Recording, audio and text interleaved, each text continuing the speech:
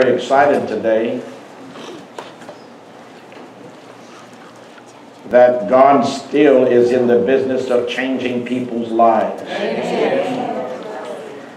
God is still making the crooked ways of life straight. God is making the impossibilities of life possible. God is making the unbearabilities of life bearable. And God is still bringing light where there is darkness. Did you know that darkness cannot break light? It's not designed for that. You cannot measure darkness as you can measure light. And where there is darkness, it's only because there is a lack of light. And so we understand today that God has given us a highway. Pastor Stephen just read it in the scriptures. There is a highway. You've heard the expression, my way or the highway. Well, if your way was the highway, I'd take it. So I consider mine to be the highway, yours the low way. Sorry. And so we, we come to that place in life where we have to make choices. I heard a prayer request in the media center during our time of prayer before we came to the platform this morning. The prayer request was to pray for a family who, over this past weekend or a few days ago or yesterday, whenever it was, Friday, a 21 year old boy, never been in trouble before, made one bad choice. His first bad choice and decision of life caused him to kill somebody else this weekend in a car wreck, head on collision on 321. How many know that one bad choice, one deviation from the right way can be very costly? I wish that man, within his own capacity, was able to design his own way that would be beneficial for all. But man, being flawed fundamentally, cannot build a road that can benefit all of humanity. He's not designed and capable to do that. Otherwise, he'd be God himself. But the Bible tells us here that God has built a highway. Not a low way, not a crooked way, a straight and narrow way.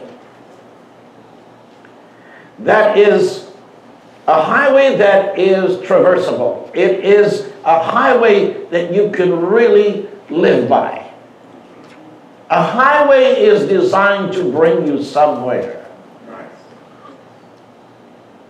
Roads are built for the purpose of getting you somewhere where you're not there yet. This. I have two assistant preachers this morning behind me, and they're already aiding me in my sermon. And that's all right. That's, keep it up, boys. It, it, it'll help. God knows I need all the help I can get. Now listen closely. When God builds a road, it's to get you from point A to point B. It's to get you somewhere, to go somewhere, heading somewhere, as Pastor just whispered in my ear. That means you're leaving somewhere. You're going from one place to another place. Now the Bible says that there's a way that seemeth right unto man. The way that we plan for ourselves seems to be the right way. But the Bible says the ends of those ways are the ways of death. You cannot design for yourself a life of purpose and a purposeful life that can supersede what God designs and purposes for your life. You cannot live better than on the highway of God. There is no way that you can plan, design, or that you can engineer for your life There are no future plans for your life that can be better than what God's plan is for your life. Because the road that we choose is filled with potholes. The roads that we choose are inferior. The roads that we choose are inundated and filled with dangerous obstacles, unsurmountable problems. And that's why so many people give up, give in, and surrender all hope, surrender their faith, surrender their dreams. They surrender their aspirations in life. Because the road that you planned for yourself is inferior.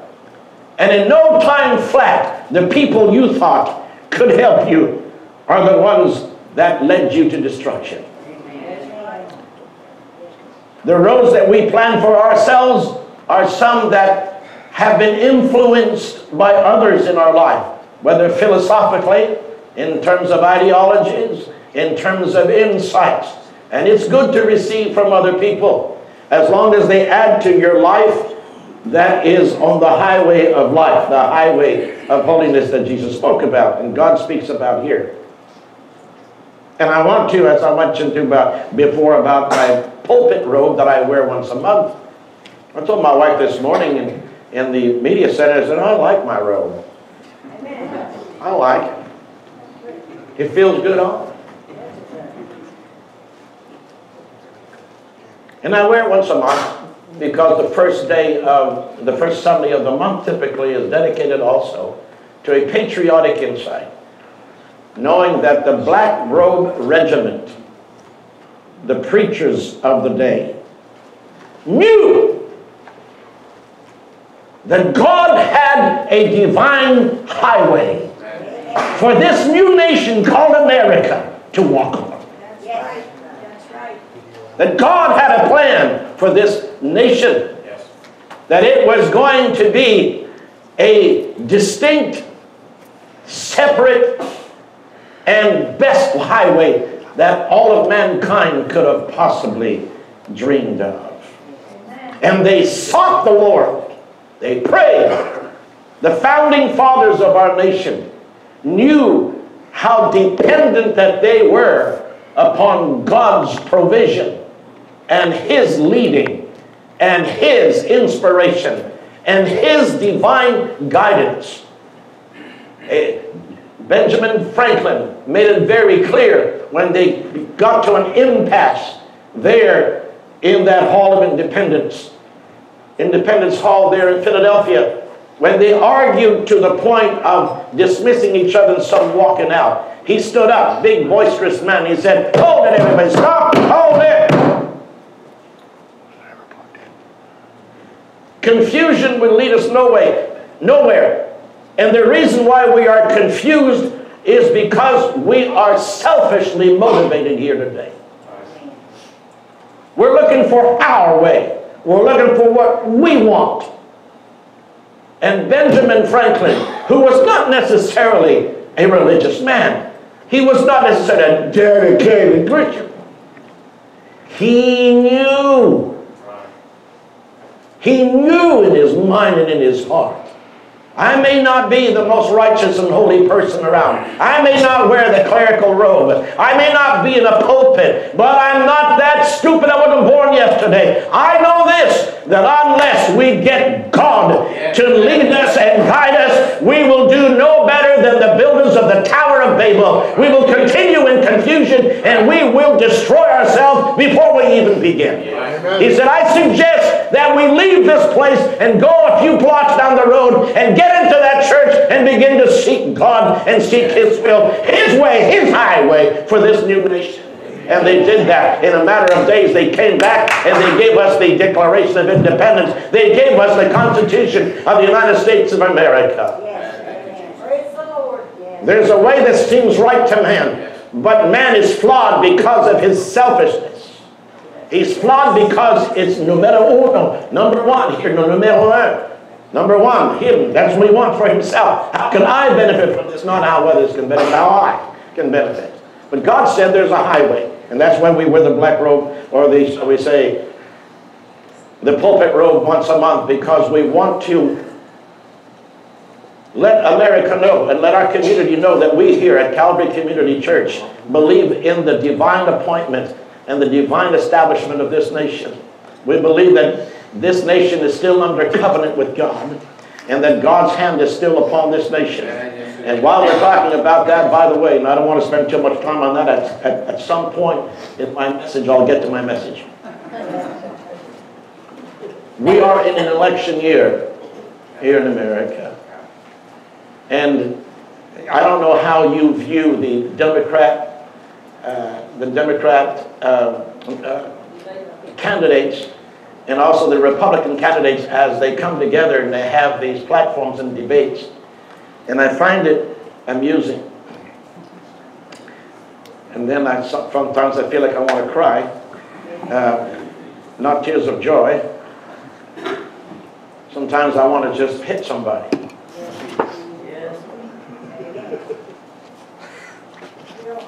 We, we, sometimes I look for the Board of Education.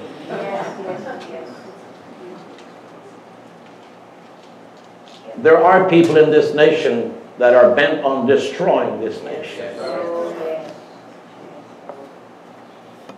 And I see the debates, I hear them speaking. And I find it amusing in this sense. What man proposes, God disposes. That's in the scripture. What man plans, God disposes, God annuls completely. And then I find it quite interesting, very insightful, how I see that God is moving the checkerboard, all right? And the checkers on the checkerboard, the chest, if you want to, the chest again, how God is moving different ones. How this year, all the commentators have all agreed that we who have predicted were all wrong. What we have anticipated, we have completely missed.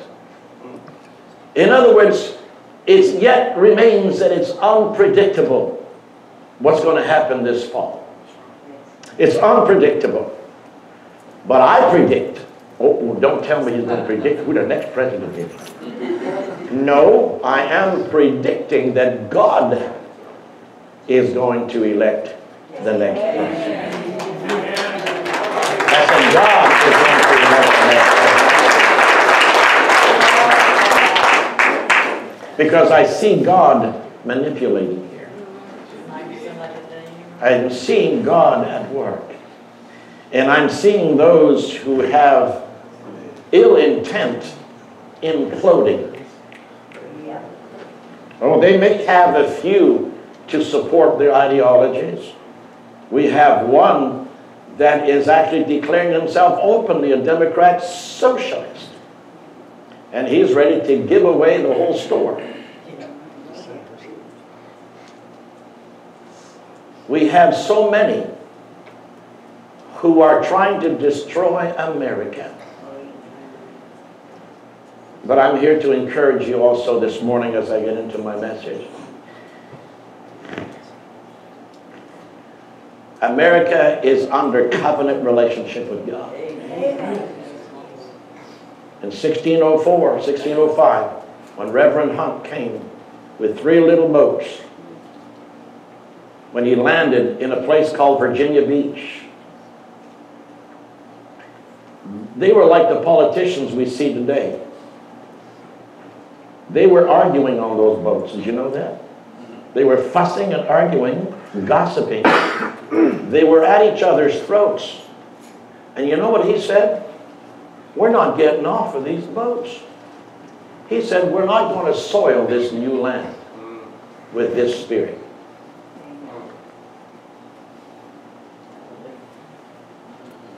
We're not leaving the seas until we get right with God.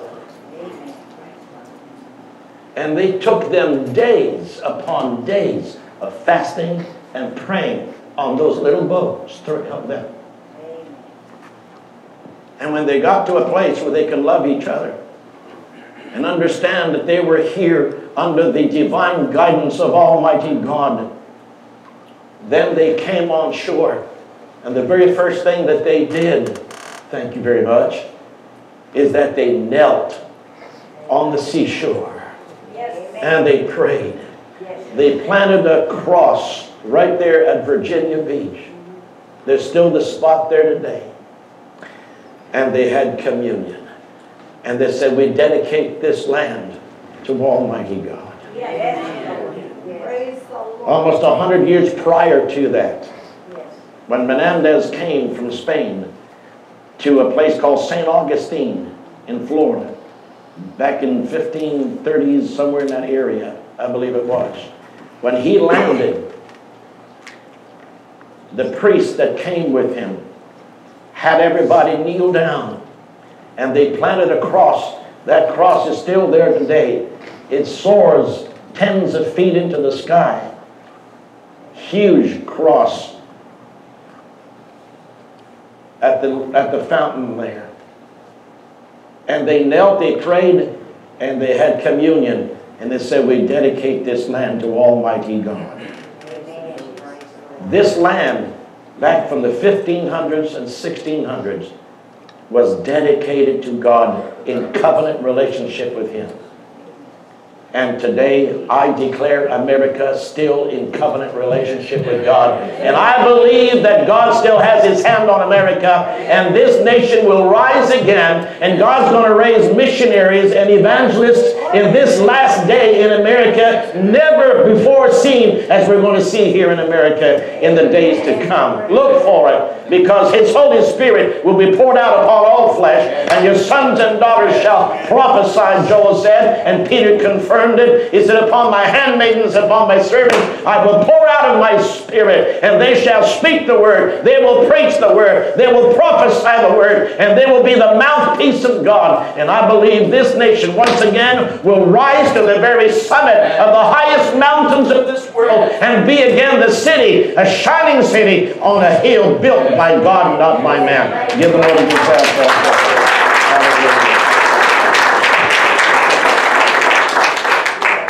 Now, to my message. I've got to do this. In Isaiah 35, let's go back to that, and I have very brief time. What I'm talking about, I broke into a new series of messages last Sunday morning, and it's the joy of the Lord, the people's strength. And I shared with you the message last Sunday morning out of John chapter 15 that Jesus said, These things have I spoken unto you, that my joy may be in you, may remain in you, and that your joy might be full.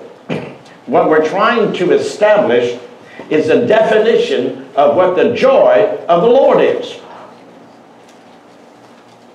What is what defines his joy? What what what does that look like? Where does it come from? How is it birthed? Because in Nehemiah 8:10 it said, "Neither be ye sorry, for the joy of the Lord shall be your strength."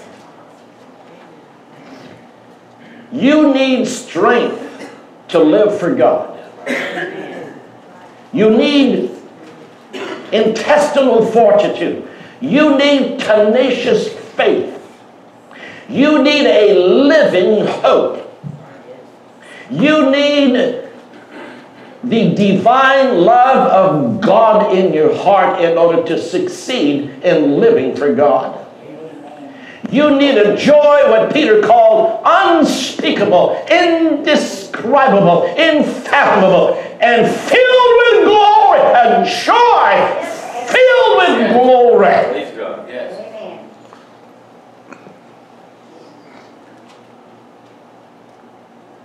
for you to succeed.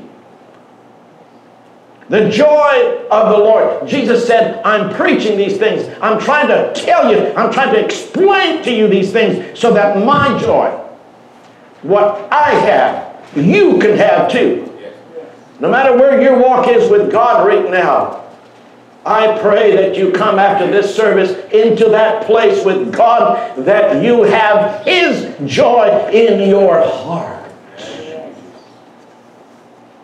and that your joy will be filled. And so last Sunday, I broke it down and, and just in quick recap, basically what Jesus was saying, three or four verses prior to verse 11 in John 15, he said, I love my Father, and my Father loves me. I do those things that please my Father. I obey my Father's commandments. My Father and I have an intimate relationship. I walk with my Father. I talk with my Father. My Father walks and talks with me. We have a relationship that brought me a joy that sustains me in ministry. It sustains my life. And you, he was saying, are going to need the same joy that I have. And you must receive my joy.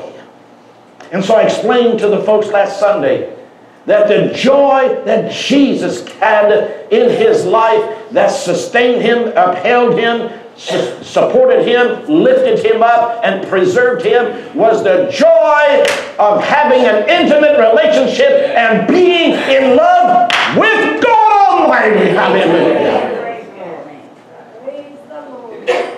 It's a principle of life. People who are in love are literally invincible impregnable.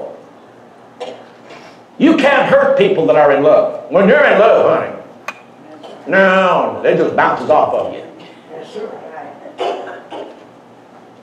Nothing bothers you. You know why? Because that love that you have has birthed such a powerful hope, such a powerful faith, that nothing disrupts that. It gives you such a stamina, this joy. And the church in America needs the joy of the Lord again. And where there is no joy is because there is no love.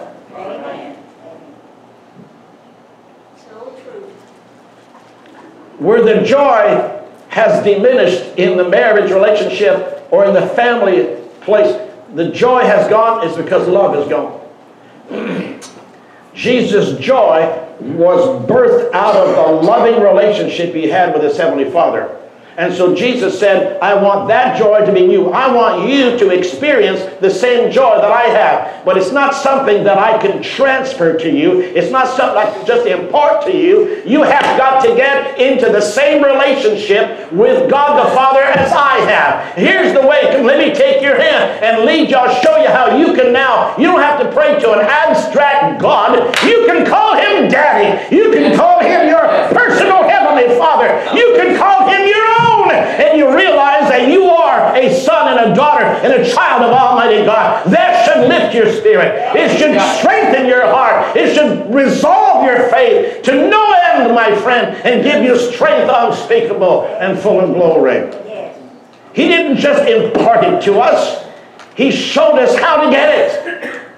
He said, if I have joy and that, that sustains me, it's because I have that relationship, my love relationship, and I want to show you, you can have it too. He said, the love that the Father and I have, I want you to have it too. I want you to love God, my Father, and I want you to love me. If you love me, you'll keep my words. And when you keep my words, you'll, it'll show you that you love me. And if you love me, I'll give you joy, because joy is birthed out of love. Hallelujah to the Lamb of God. Let me go back to verse 10 now. Let me go back to verse 10. Uh, we're in Isaiah 35. In case you forgot, I went out of there so long.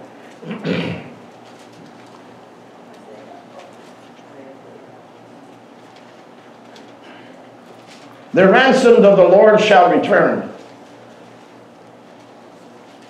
and come to Zion with singing. With an everlasting joy on their heads. Let- Give me that over there, would you please, for a second? The crown. Yeah, yeah, yeah. An everlasting joy shall be on their head.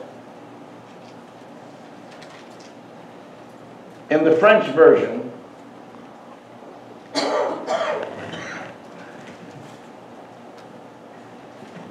God crowns us with joy.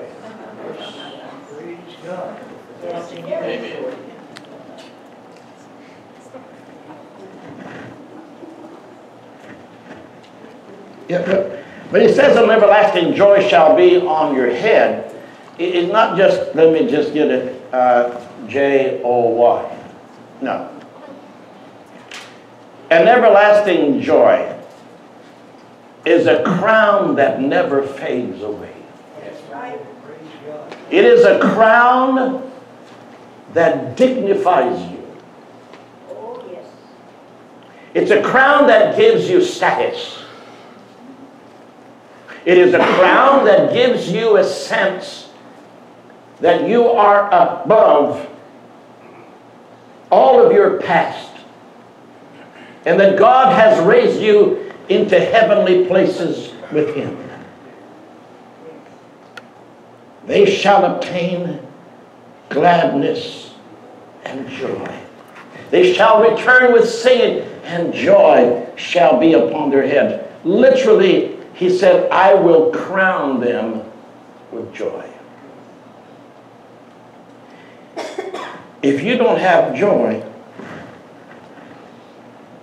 see if you can relocate your crown. See if you didn't know you had a crown. Let me see how that looks.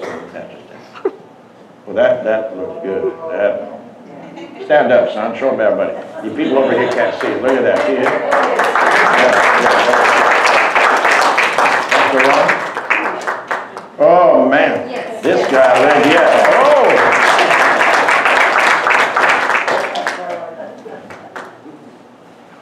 Yes. An everlasting joy, an everlasting crown shall be on your head. Amen. You see, when you read the Bible, you have to read it. If you read it like a novel, you're not going to get a crown out of that.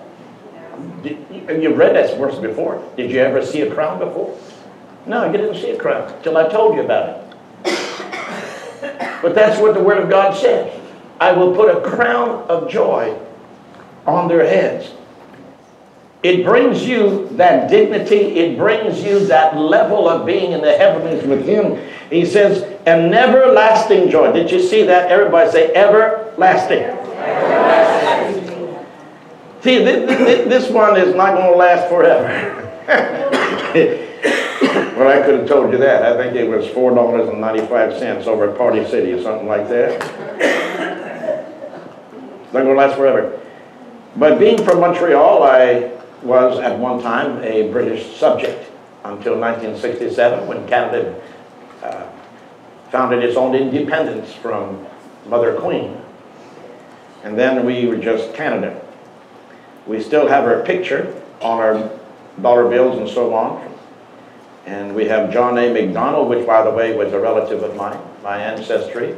The first Prime Minister of Canada, as equal to be with George Washington, was my grandmother's mother. That's my great grandmother's brother.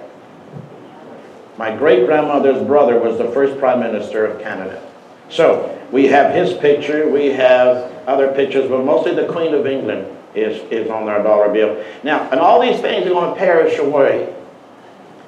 But the joy, the crown that God gives you, is a crown of joy that's it's a, it- it's a crown of joy that's everlasting. See, your salvation is not just for today and tomorrow. Your salvation is everlasting. Do you think we're going to deposit our crowns at the gate when we get there? No. No. The joy goes with you. Amen. The peace goes with you. Oh, what was that? The blood goes with you. You don't drop the blood at the door. Because he sprinkled his blood on that mercy seat, it's going to be there forever. The long suffering, the peace that passes understanding, the joy of the Lord shall be your strength. It's going to be with you because it's not something that man fabricated. It's not something that came from a happenstance. I won the lottery, bless God, I'm ha- I'm happy forever. No, because that money will fade away. The Bible says this, heaven and earth will pass away, but my word will never pass away. So what are we saying? Everything you have in this life is going to pass away. I'm talking about joy. Why is that important? Because uh, I haven't got time to go on all. I'm on a series, and so just be patient. We're going to take it one chunk at a time.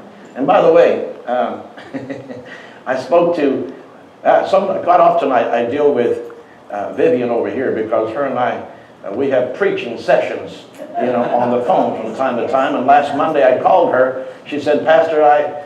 Just wanted to shout last Sunday morning. She said, when you talked about the love, the love, you know, generates or, or love gives birth to joy. And what she came to her mind is the Revelation chapter 2, how the church of Ephesus had lost its first love. When you lose your first love, you're surrendering your crown of joy. You've got to have the love of God in your heart. And we need to get back to the first love. In other words, they were doing everything right. They were the most religious Christians around in Ephesus. They had all their social activities down in terms of benevolence and helping people and so on and so forth. They had all of their religious activities and the church service down just right. I mean, the whole church was really good. And God said in His Word, I only have one thing that I need to correct you about that I need to rebuke you about. You've lost your first love. How do you know that there are marriages today, for instance, that they seem quiet on the surface? That they seem fine, huh? But the effervescence and the joy of the first love is gone. I keep asking Diana, I said, I hope you never get tired of me telling you how much I love you. She said, "Mhm." no, no, I'll never get tired of that. Sometimes I feel like I bother her because I'm always hanging on her, you know. I'm, I'm looking to grab her, you know, hang on her and stuff. And you know, she's got four cats to hang on to. She doesn't need that. And the four cats, you know, in most times takes precedence over this cat. And so I, I have to wait until they're out bedded and sleeping, then I get my turn. I can't sit on her lap like they do, but at least I get close and uh, so on and so forth. And, and sometimes she scratches my back like she does the cat, you know. Pets my hand Yes. But I keep telling her that how, how grateful I am because God had placed her in my life. And, and so there's, a, there's an effervescence there that stays there. And so what I want to do today, and I'm, I'm going to lowering my flaps, you've heard me say it, well,